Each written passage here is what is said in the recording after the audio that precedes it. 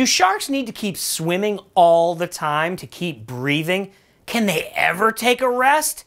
I'm Jonathan Bird, and this is Shark Academy.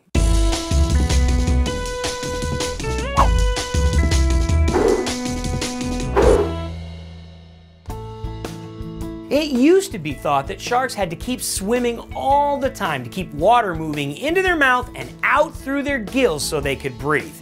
Well, that's not true. Breathing in this manner is called ram ventilation.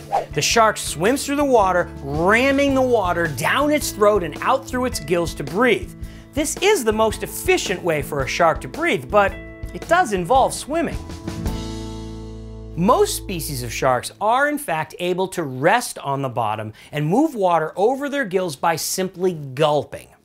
The nurse shark, the white tip reef shark, the lemon shark, they all practice this form of breathing called buccal pumping, where they gulp water. Flattened bottom-dwelling sharks like the wobbegong shark have their mouths down really close to the sand, so instead of gulping in water through their mouth and maybe getting a lot of sand in there, they breathe through spiracles, which are kind of like nostrils up on the top of their heads. There's a small group of sharks, about two dozen species, known as obligate ram ventilators. These guys can only breathe by swimming through the water and ramming water into their mouths. If they stop swimming, they'll drown.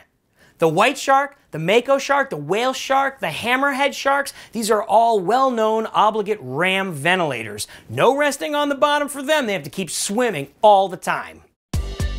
Well, if you want to learn more about sharks that are obligate ram ventilators, check out the link below for the Shark Academy episode about scalloped hammerhead sharks.